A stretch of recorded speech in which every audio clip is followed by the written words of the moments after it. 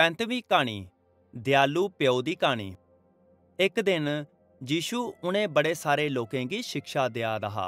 जेह्के ओह्दी सुनने आस्तै किट्ठे होए दे हे एह् लोक चुंगी लेने आह्ले ते कन्नै गै दुए लोक बी हे जि'नें मूसा दी व्यवस्था दा पालन करने दी कोशिश नेईं कीती ही किस धार्मिक अगुएं ने दिक्खेआ कि यीशु इ'नें लोकें कन्नै दोस्त आह्ले लेखा गल्लां करदा ਇਸ ਕਰੀ ਉਹਨੇ ਇੱਕ ਦੂਏ ਕਨੇ ਇਹ ਆਖਣਾ ਸ਼ੁਰੂ ਕਰੀ ਦਿੱਤਾ ਕਿ ਉਹ ਗਲਤ ਕਰਾ ਦਾ ਹਾ। ਯੀਸ਼ੂ ਨੇ ਉਨੇਗੀ ਗੱਲਾਂ ਕਰਦੇ ਸੁਣਿਆ। ਇਸ ਕਰੀ ਉਸ ਉਨੇਗੀ ਇਹ ਕਹਾਣੀ ਸੁਣਾਈ। ਇੱਕ ਮਾਨੂ ਹਾ ਜਿਹਦੇ ਦੋ ਪੁੱਤਰ ਹੈ। ਨਿੱਕੇ ਪੁੱਤਰ ਨੇ ਆਪਣੇ ਪਿਓ ਕੀ ਆਖਿਆ हे ਪਿਤਾ, ਮਿੱਕੀ ਉਨ ਮੇਰਾ ਹਿੱਸਾ ਚਾਹੀਦਾ ਤੇ ਪਿਓ ਨੇ ਆਪਣੇ ਦੋਨੇ ਪੁੱਤਰੇ ਦੇ ਵਿੱਚ ਆਪਣੀ ਜਾਇਦਾਦ ਕੀ ਵੰਡੂੜਿਆ। ਜਲਦੀ ਕੇ ਨਿੱਕਾ ਪੁੱਤਰ ਆਪਣਾ ਸਾਰਾ ਕਿਸ਼ ਇਕੱਠਾ ਕਰੀਏ ਦੂਰ ਦੇਸਾਂ ਕੀ ਚਲੀ ਗਿਆ ਤੇ ਪਾਪੀ ਜ਼ਿੰਦਗੀ ਜੀਣੇ 'ਚ ਆਪਣਾ ਸਾਰਾ ਧਨ ਬਰਬਾਦ ਕਰੀ ਦਿੱਤਾ।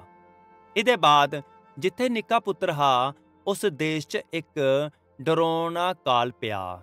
ਤੇ ਉਹਦੇ ਕੋਲ ਭੋਜਨ ਲੈਣੇ ਵਾਸਤੇ ਧਨ ਨਹੀਂ ਹਾ। ਇਸ ਕਰੇ ਉਸੀ ਜਗ੍ਹਾ ਕੰਮ ਥੋਇਆ ਉਹ ਸੂਰੇ ਕੀ ਚਰਾਣੇ ਦਾ ਹਾ। ਉਹ ਇੰਨਾ ਦੁਖੀ ਤੇ ਭੁੱਖਾ ਹਾ ਕਿ ਉਹ ਸੂਰੇ ਦਾ ਭੋਜਨ ਖਾਣਾ ਚਾਹੁੰਦਾ ਹਾ। ਆਖਰਕਾਰ ਉਸ ਨਿੱਕੇ ਪੁੱਤਰ ਨੇ ਆਪਣੇ ਆਪ ਕੰਨੇ ਆਖਿਆ ਆਉਂ ਕੇ ਕਰਾਨਾ ਮੇਰੇ ਪਿਓ ਦੇ ਸਾਰੇ ਨੌਕਰੇ ਕੋਲ ਖਾਣੇਗੀ ਬੜਾ ਜ਼ਿਆਦਾ ਹੈ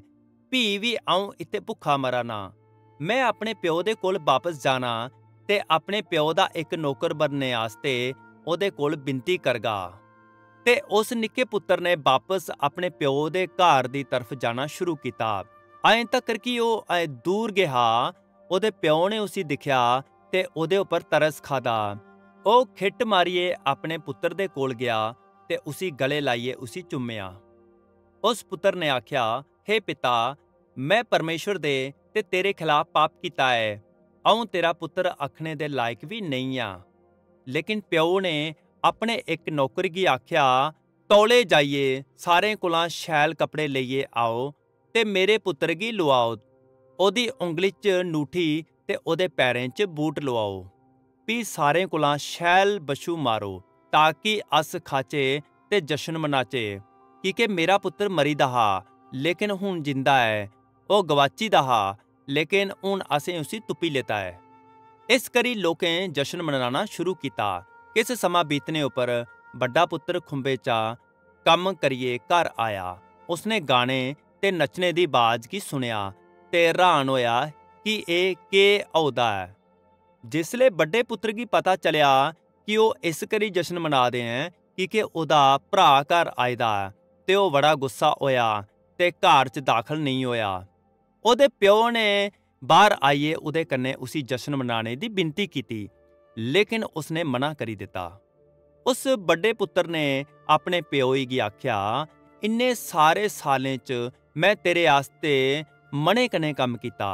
कदें बी तेरी गल्लै गी नेईं टालेआ ਟਾਲਿਆ ਲੇਕਿਨ ਤੂੰ ਕਦੇ ਵੀ ਮਿੱਕੀ ਇੱਕ ਨਿੱਕੀ ਬੱਕਰੀ ਵੀ ਨਹੀਂ ਦਿੱਤੀ ਤਾਂ ਕਿ ਅਉਂ ਆਪਣੇ ਦੋਸਤ ਦੇ ਕੰਨੇ ਧਾਮ ਕਰੀ ਸਕਾਂ। ਲੇਕਿਨ ਤੇਰੇ ਪੁੱਤਰੇ ਨੇ ਤੇਰੇ ਧਨ ਕੀ ਪਾਪੀ ਕੰਮ ਕਰਨੇ 'ਚ ਬਰਬਾਦ ਕਰੀ ਦਿੱਤਾ ਹੈ ਤੇ ਹੁਣ ਜਿਸਲੇ ਉਹ ਆਇਆ ਤੇ ਉਹਦੇ ਆਸਤੇ ਜਸ਼ਨ ਮਨਾਣੇਗੀ, ਤੋ ਸਾਰੇ ਕੋਲਾਂ ਸ਼ੈਲ ਬਸ਼ੂਏਗੀ ਮਾਰੀ ਦਿੱਤਾ।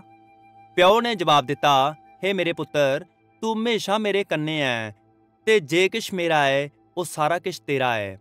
ਹੈ ਲੇਕਿਨ ਸਾਡੇ ਆਸਤੇ ਜਸ਼ਨ ਮਨਾਣਾ ਸਹੀ ਹੈ ਕਿ ਤੇਰਾ ਭਰਾ ਮਰੀ ਗਿਆ ਹਾ, ਲੇਕਿਨ ਹੁਣ ਉਹ ਜਿੰਦਾ ਹੈ ਉਹ ਗਵਾਚੀ ਦਾ ਹਾ, ਲੇਕਿਨ ਹੁਣ ਅਸੇ ਉਸੇ ਤੁਪੀ ਲੈਤਾ ਹੈ